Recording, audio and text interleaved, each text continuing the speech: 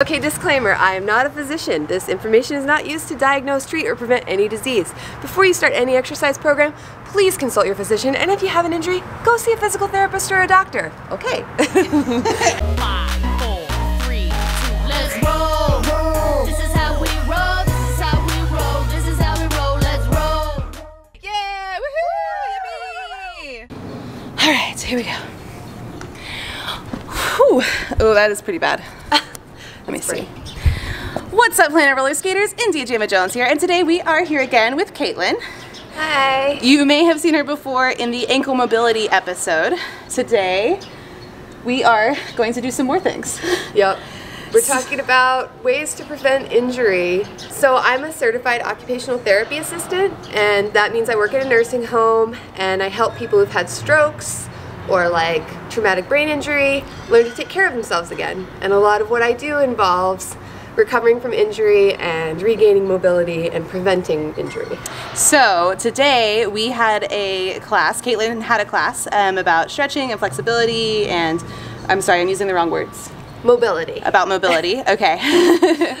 and I learned that I have been preaching incorrect information. It was very humbling. I've always been one of those people that preaches that stretching is the best way to prevent injury. And Caitlin is actually the most up to date on recent studies and research, and she has more accurate information for us. Thank Yeah. goodness. You shouldn't feel bad though. I mean, uh, this information is so widespread. We've been trained for like, you know, 60 years to stretch before activity. It starts in grade school, it starts in preschool, and everybody believes that, I think, unless you've had specific training to tell you what the real research is. well, okay. The last 20 years, um, there's it's been an explosion in research on how to prevent injuries and increase flexibility and function. And so now we do know what you can do to prevent injury, and it's not stretching. So this episode is going to be Caitlin giving us a quick overview of the best ways to actually prevent injury as a skater and how you should and should not stretch. So I'm going to just be behind the camera and let you do your thing. Okay. All right. Okay, so you're going skating and you feel a little tight and you want to prepare your body so that you don't pull something or break something and get hurt. It's a super common feeling in roller skating. Maybe you're about to play a roller derby game or go to the skate park. None of us wants to get injured. I've personally been injured a lot and that's how I learned about all of this stuff in addition to my academic training. So traditionally, what you might do is hold a static stretch. So that's where you get in a position like a front straddle split or a side straddle, get to the end of your range of motion, hang out, do some deep breathing and see if you can go further. It turns out that that kind of stretching not only does it not prevent injury, but it can actually lead you to become injured, especially if you do it too much and past your normal range of motion, and especially if you do it before activity. Now, it doesn't mean that increasing your mobility, your range of motion is not beneficial. It actually is super beneficial to gain control over ranges of motion that are more extreme than you encounter in your everyday life. But you don't want to stretch before activity. So, the best thing you can do if you're about to go for a skate, especially if you're about to play a sport, is do movements that mimic what you're about to do, but do them with less intensity. That's the ideal warm up. So, let's say you're going to go to the skate park you might want to do some standing deep squats that mimic the action of pumping. If you're going to be popping out of the bowl, then you definitely warm up, warm up with some basic jumping. Um, if you're about to play roller derby, then you may want to do some lateral jumps and cutting, some ground contact exercises.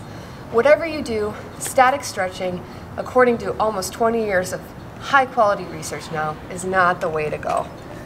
If you do want to increase your mobility, and we're probably going to do some episodes about this later, definitely blog posts with specific exercises, what you want to start focusing on is controlling a range of motion with your muscles. So rather than using gravity to get in a position and hang out, you want to use the strength of your muscles to get in a position and control it that kind of strength can really improve your performance over time and it can decrease your rate of injury. So if you're interested in learning more about this, please comment with your specific questions. I'm going to post links to some of my favorite research if you're into that so that you can see what I'm basing my feeling about this on.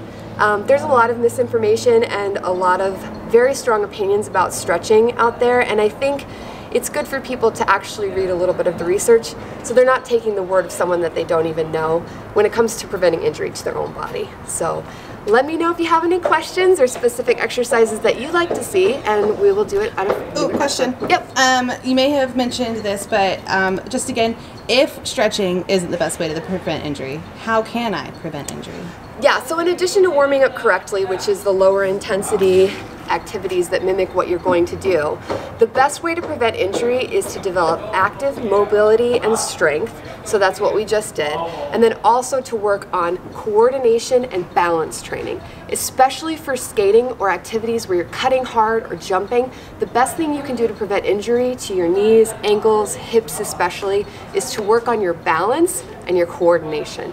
So when you're looking for exercises, videos online, instead of looking for stretching videos, look for coordination videos, look for balance videos, and especially look for active mobility videos, and you'll be on the right track. Awesome. And so, in addition to looking for those things that already exist, we are definitely, I mean, as soon as you're available, I'm down to start filming more episodes like this. Um, we're going to do our best to build those resources for you um, and for skating specifically. Yeah. And yeah, I think this is, you know, something that we've needed for a long time, and I'm so grateful that you're happy to help us. I really want to prevent injuries. You know, honestly, I feel like injuries are really a matter of it's not if, it's when, which Yeah. we talked about already in Planet Roller Skate. But if you're prepared and your body is well trained, you can recover faster from injuries. You can get fewer of them, and you'll have a longer skating career. So, um, look forward to more specific skate uh, mobility content in the future. Awesome. Thank you so much, Caitlin. Yeah, Be sure to guys. like, comment, subscribe, hit a planetrollerskate.shop for everything you need from helmet to toe stop. And until next time, Later, skaters. later skaters. Chill. I'm going to post that today.